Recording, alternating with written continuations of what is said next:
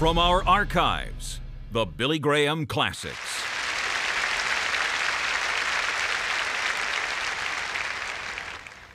I want us to turn tonight to the fifth chapter of the book of Galatians.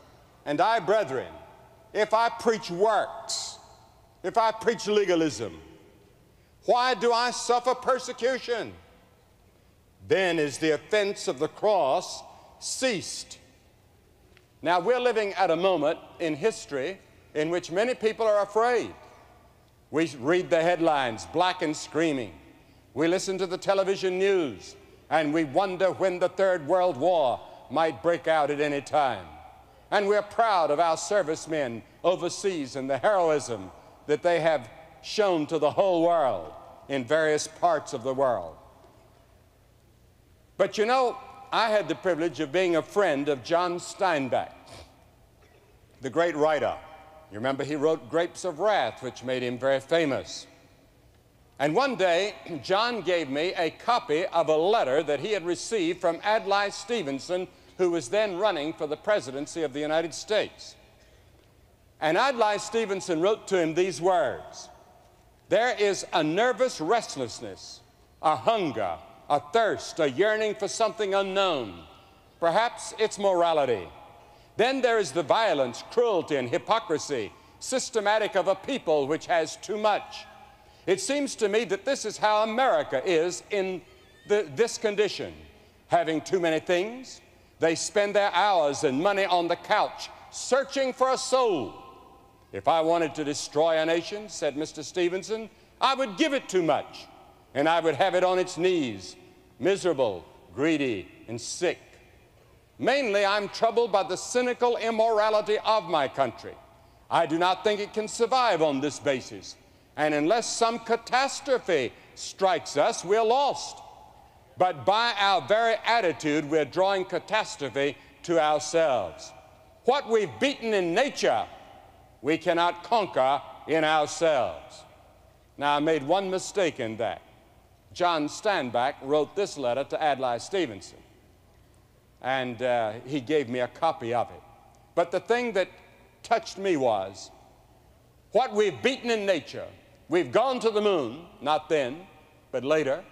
But he knew some of the scientific technology breakthroughs that were taking place in those days. But he said we cannot conquer in ourselves.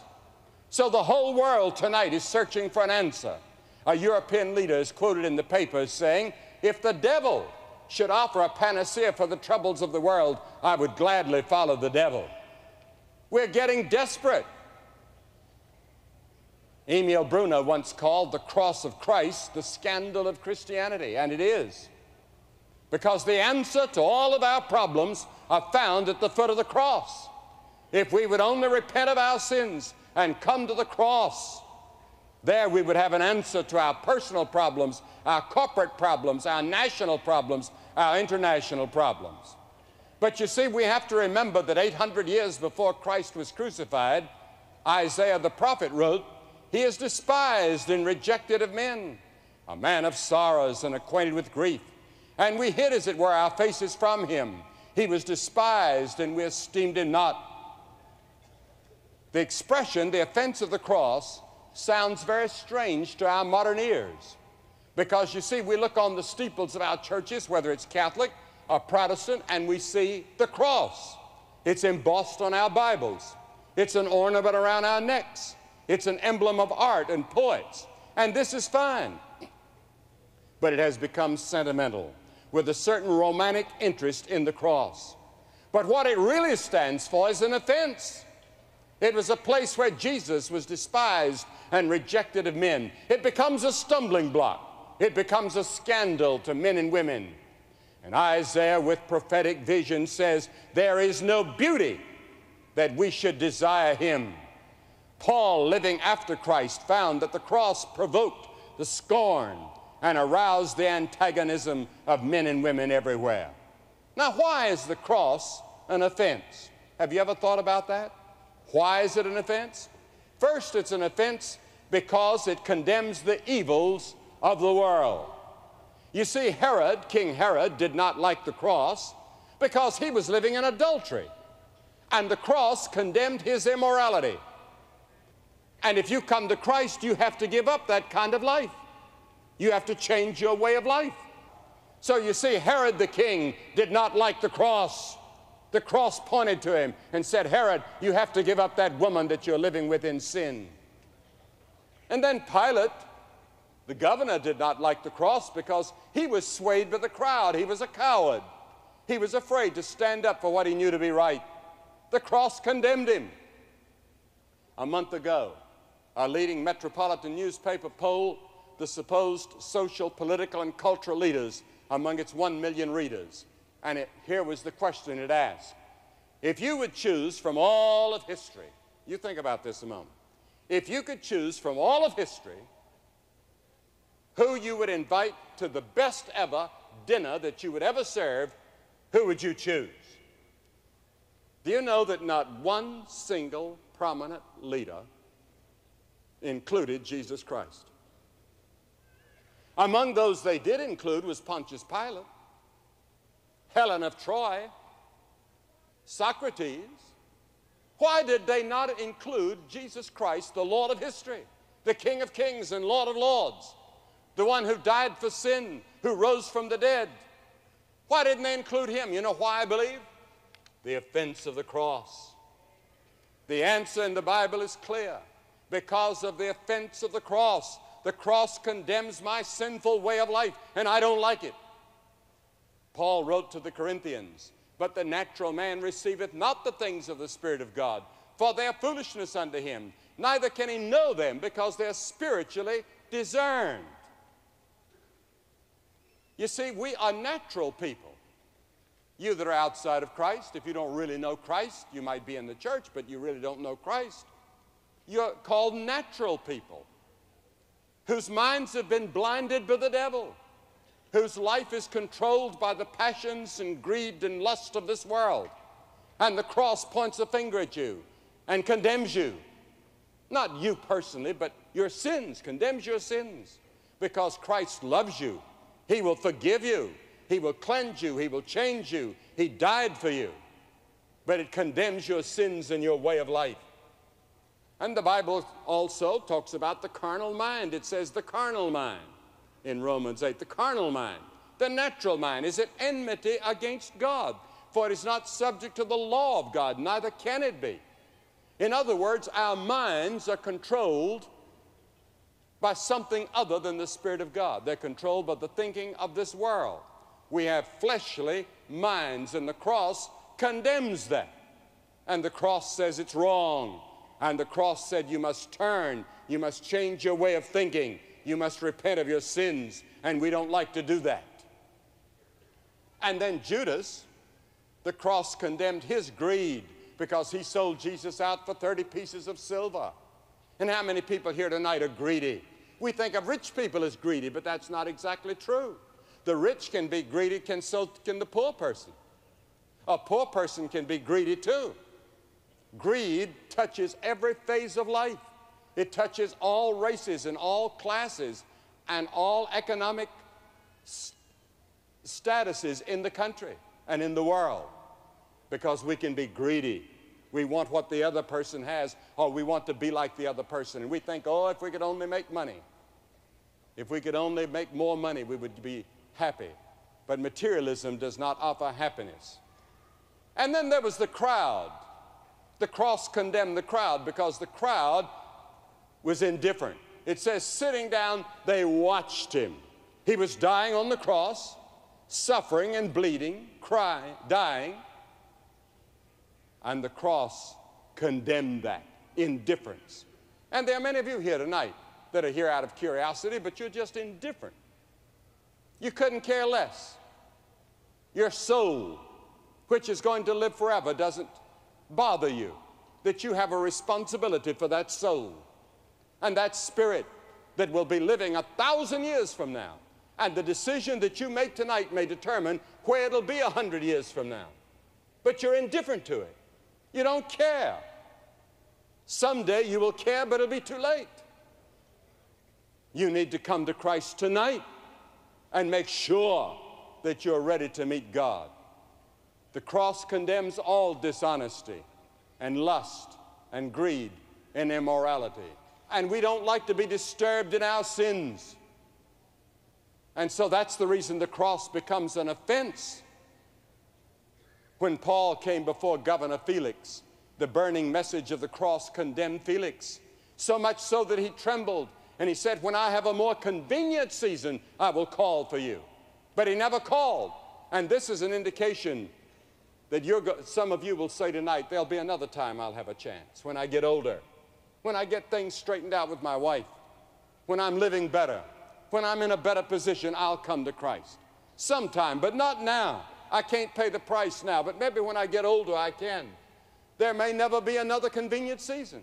You can only come when the Holy Spirit is speaking and drawing. And the Holy Spirit is speaking and drawing here tonight in this arena in answer to the prayers of thousands of people throughout the country. Yes, it can make you tremble, the preaching of the cross, and your knuckles will turn white on the seat in front of you when the invitation is given, but you won't come because you feel that you have to do something to get ready. There's a new book by Professor Donald Peale. He says old age is not the religious stage of life. We usually think of old people getting religion, but that's not true. Like the old grandmother who was reading her Bible and the little granddaughter was asked by a friend, said, what's your grandmother doing? And the little granddaughter said, well, she's studying for her finals. And many of us think of it that way. When I get older, when things get a little bit different, I get a little more mature, I'll give my life to Christ. But he said that old age is not the religious stage of life. If there's any such development phase, it happens with children of the seven to nine years bracket. He said if there's a religious age in our lives, it's between seven and nine. But I notice in nearly every crusade we hold that the age of the people that come forward to receive Christ is between 18 and 22. That seems to be the age of commitment. That's the age when we're making a commitment about vocation, about marriage, about life's values. And it's the age that we make our commitment about religion. And then it decreases till you get to be about 50, and only a small handful in any crusade beyond 50 ever come to Christ. Why? Because you have hardened your heart. And the scripture says you can so harden your heart that when the Holy Spirit speaks, you cannot hear any longer. Your conscience is dead. It needs to be resensitized. And when you come to Christ, your conscience can be resensitized. Loyola, the founder of the Jesuits, contended, contended that if you don't reach a child by the time he's seven, you may never reach him. You better come to Christ now, no matter what your age is. If Christ is speaking to you tonight, come. And you that are watching by television, pick up your telephone and call the number that's on the screen. There's a counselor waiting to talk to you that will help you to make your commitment to Christ now while there's time. There will never be a more convenient season than right now. Now, the one that succeeded Felix was named Festus, and Paul preached to Festus the gospel. And Festus said, Paul, you're, you're mad. Something's happened to your brain. You've learned too much. And how many of us say almost the same thing to those that come to us and ask us to come to Christ? You're a fanatic. Agrippa said, King Agrippa said, after hearing Paul, almost thou persuadest me to become a Christian. Last night, Cliff used that song at the end. Almost almost in the kingdom, almost persuaded. But the scripture teaches us that it's the preaching of the cross that we come to Christ. We cannot argue anybody into the kingdom. We cannot talk anybody into the kingdom. I cannot use clever words and great arguments to get you into the kingdom of God. The Holy Spirit does it when the cross of Christ is presented. And so the cross has come down through all the centuries passing its unfaltering judgment upon the vanities, prides, hates, and greeds, and self indulgent pleasures and lusts of men and women. And it says, You're wrong, you're a sinner, and we don't like it. It becomes a conscience to the world.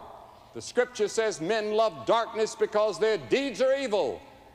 The cross throws light on their evil deeds, and they don't like that. Then there's a second reason, I believe, why the cross is an offense. The cross is an offense because blood was shed there. Now, in Leviticus, the 17th chapter, it says, For the life of the flesh is in the blood, and I've given it to you upon the altar to make an atonement for your sins, for it is the blood that maketh an atonement for sin. Now, people make fun of the cross, and they make fun of Christ and Christianity and Christians because we talk about blood. But the Bible is filled with the topic of blood from Genesis to Revelation. I took my major in college in anthropology, and I wrote my final thesis on the subject of blood sacrifice the world over.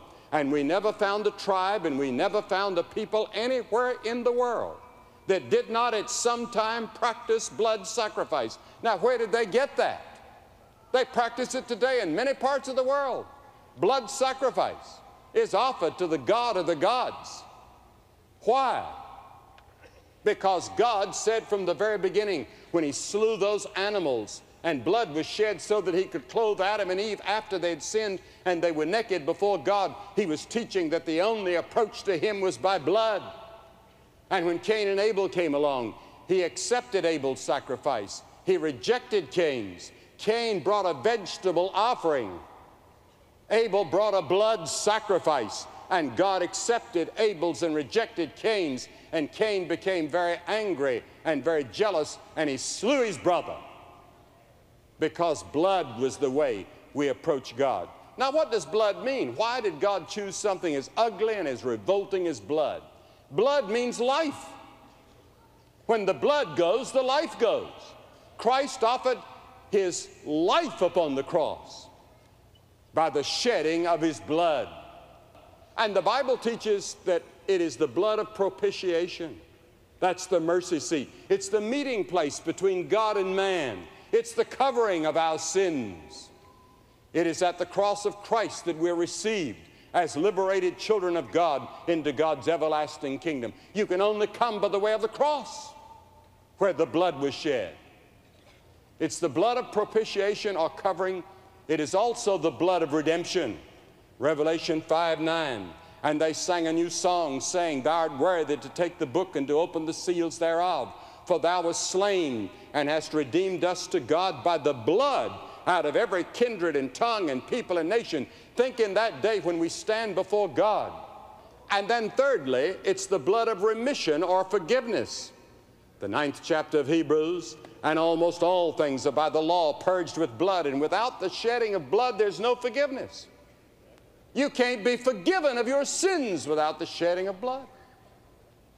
And then it's the blood of reconciliation, Ephesians 2.13. But now in Christ Jesus, ye who sometimes were far off are made nigh by the blood of Christ. It reconciles us to God. You see, the scripture says God is at enmity with us. That means God is at war with us. We can be reconciled. We can meet around the peace table. And the blood brings us together. It's the same between me and my neighbor or between me and a family member. Maybe there's been trouble between us. But faith in Jesus Christ can bring us together because faith in Christ is reconciling. He's the Prince of Peace. And then it is also the blood of justification. Romans 5 9, justified by his blood, we're saved from wrath through him. Think of it, saved from wrath. Now, God is a God of wrath and his wrath is going to be poured out upon this world and upon you if you're outside of Christ. But the blood can stop the wrath of God. The blood that he shed on that cross brings justification. And justification means just as if you had never sinned. Can you imagine such a thing? Just as though you had never sinned, as white as a lily in your heart before God, never committing a sin. Suppose I'd been perfect from the day I was born till the day I died. That's exactly what it means. Justification. Just as though I had never sinned. And then it's the blood of peace. Colossians 1:20, we have peace through the blood of his cross. Wouldn't it be wonderful if the world would come and bow at the foot of the cross now and we could have peace in our world?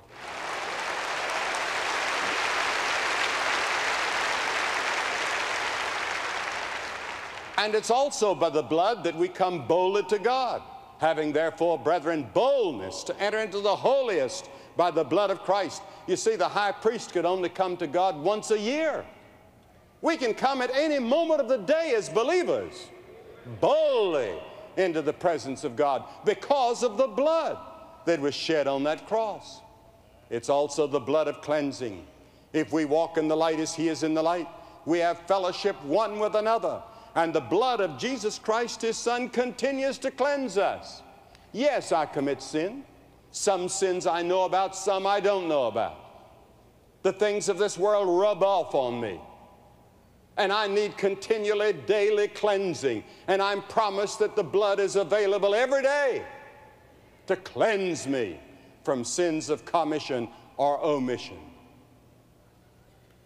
Do you know Christ? Have you accepted Him? And then, thirdly, the cross of Christ is an offense because it demands a new lifestyle under the Lordship of Christ. Yes, when you come to Christ, there's got to be a change in the way you live. Jesus said, If any man will come after me, let him deny himself and take up his cross and follow me. That means deny my own selfish ambitions and desires and lust and greed and take up the cross. What does that mean? That means that you're willing to go and die with Christ. He's going to the cross. It means that you're willing to go back to your classroom, you're willing to go back to your neighborhood, back to your business, back to your place of work, and tell your friends that you are following Christ.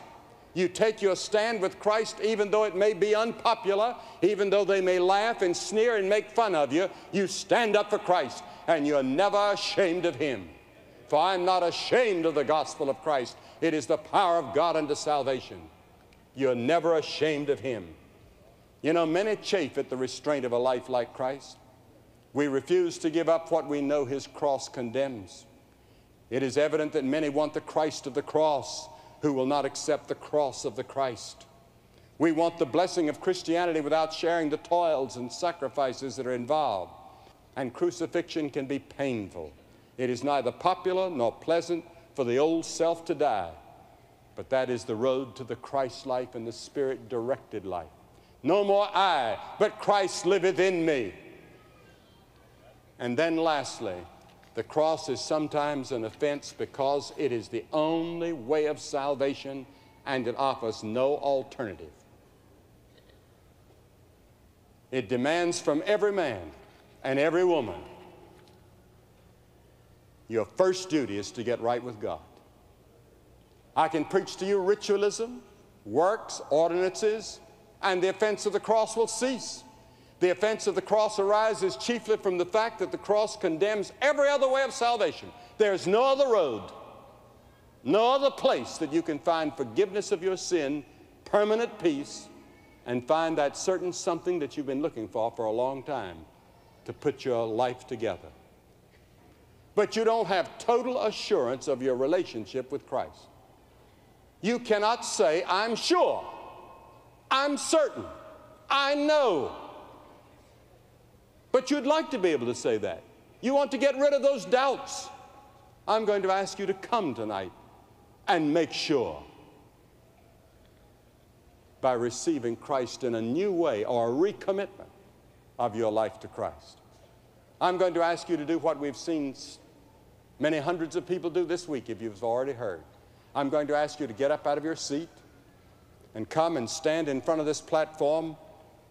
And after you've come, I'm going to say a word to you and have a prayer with you and say yes to Christ.